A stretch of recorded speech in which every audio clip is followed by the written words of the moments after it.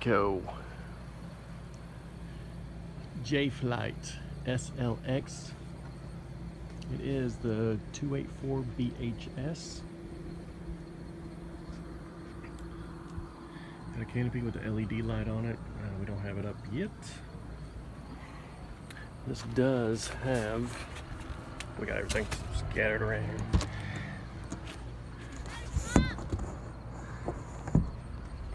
Down there fishing. This stuff has a pull-out kitchen, two burner stove, hot water, refrigerator. It does have the LED lights on the back. Um, two windows in the back.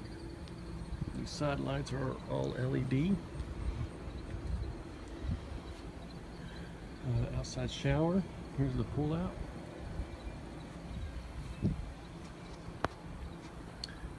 Get over around here real quick. And this is the uh, little storage area. This goes all the way through. Got a whole bunch of junk in there, but it goes all the way through. This is actually under the bed in there.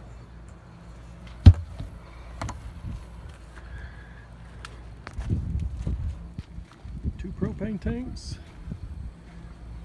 Let's go inside real quick. There's the awning.